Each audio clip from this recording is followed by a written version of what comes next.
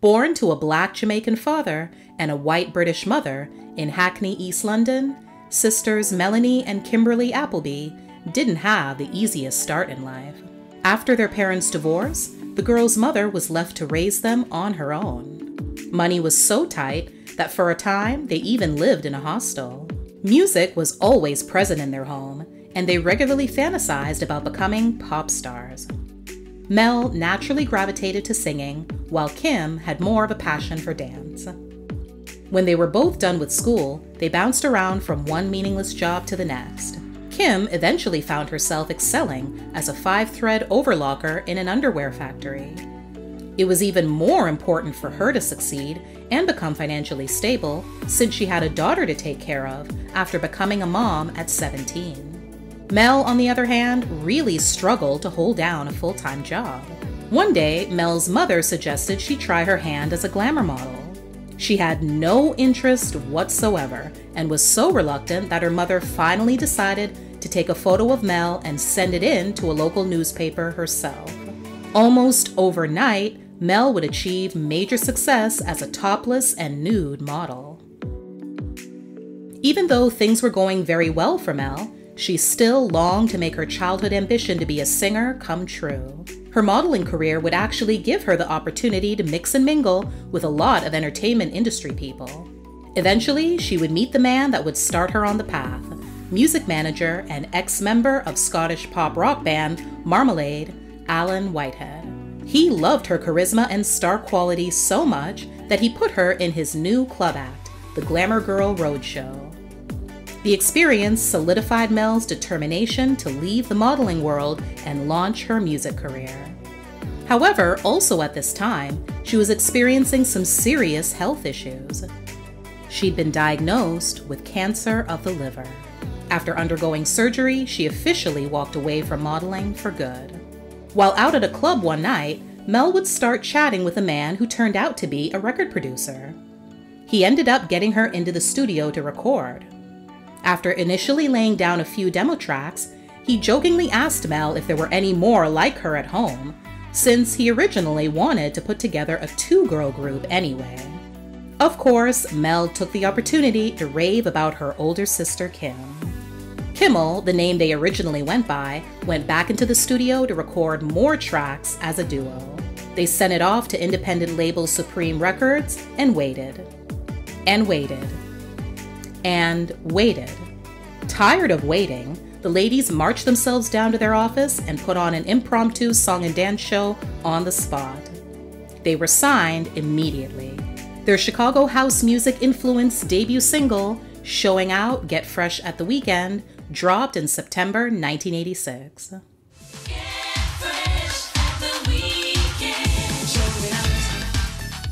It reached number three on the British charts that year. It was a minor hit in the US, peaking at number 78 on the Hot 100, but it exploded on the dance chart, climbing all the way to number one. Everyone was loving the hats, as their fans lovingly called them.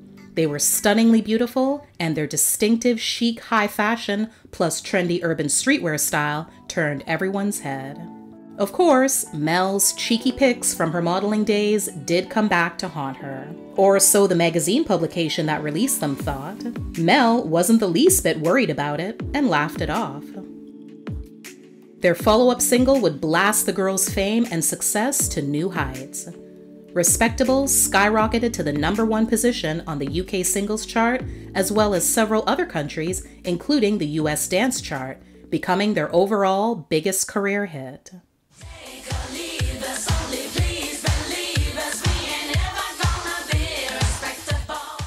Their debut album, titled FLM, was released in April 1987. The true meaning was lovely, mate, a regular expression the ladies and studio staff would say in response to a good vocal tag. Naturally, they had to come up with something more acceptable to say in interviews and on stage, so they came up with fun, love, and money. The album, as well as their hit songs, were written and produced by British songwriting and recording producing trio Stock, Aitken, and Waterman. They've also produced for many other mega successful British acts such as Bananarama, Dead or Alive, and Rick Astley. During the promotion of their third single and the title track, the back pain that Mel had been experiencing for some time had worsened after a bad fall in a restaurant in Switzerland. So much so that they had to cancel several work commitments. The press would also begin to speculate on what was really going on with her when, upon their return from Japan, Mel was being pushed by Kim in a wheelchair through the airport. Even the world tour they had planned would eventually be canceled, while Mel prepared herself for her second battle with cancer at just 20 years old. Tests had revealed another growth on her spine. The duo disappeared from the public while she began treatment. The story that was fed to the public was that the fall that Mel had resulted in a slipped disc, which had crushed some vertebrae in her spine, and she would need time to recover and therefore be unable to continue promoting the single and album. Plans for the music video also had to be drastically changed by using old footage from a previous performance. The burden to carry on, unsurprisingly, fell on Kim, who was under a lot of pressure from the record label to fulfill their contractual agreements.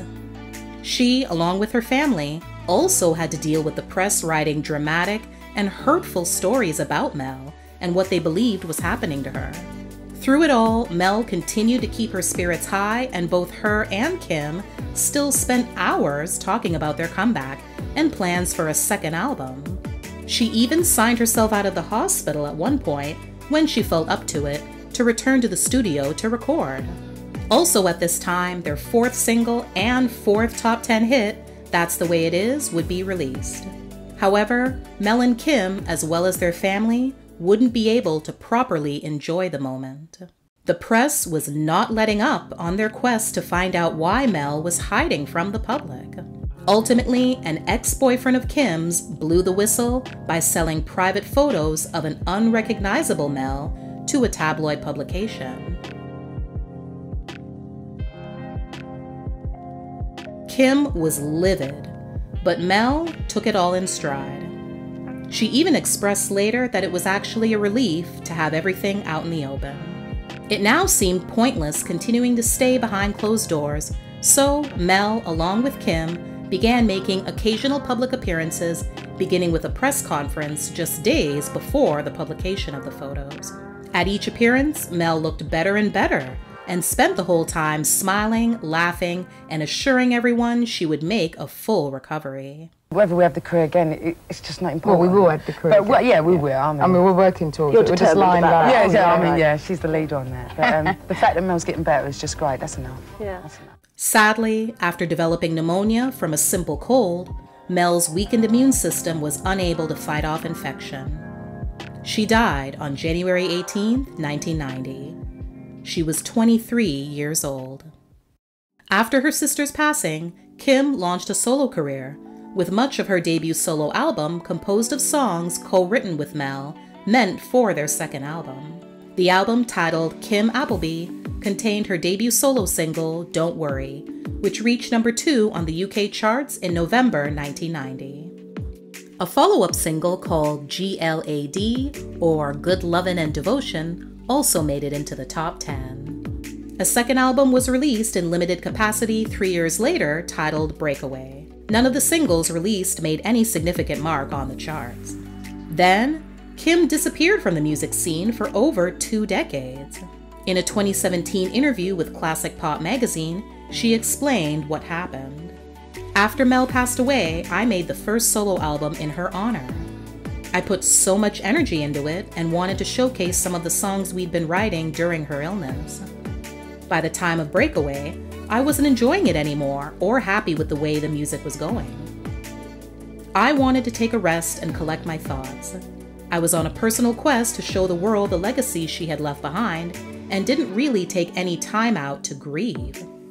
I found it quite lonely, especially on the road traveling without Melanie. I missed my home life and decided I didn't want to be in the limelight. Even though she stayed out of the pop star spotlight, Kim continued to express herself with creative outlets such as songwriting for other recording artists, acting, and having her own online radio show.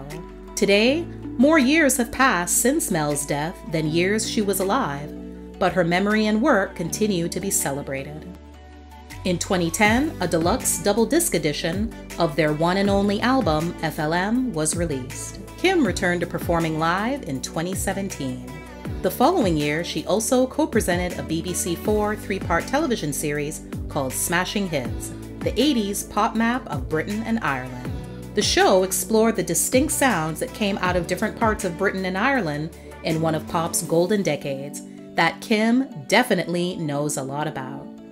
Mel and Kim fans got a very special treat in February 2018 when the never heard before demo track called Where Is Love was released. It was actually the duo's fans who crowdfunded to get the song to the masses.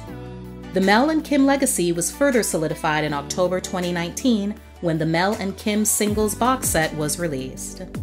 The Ultimate 7 CD collection features 76 remastered tracks and many rare and unreleased mixes.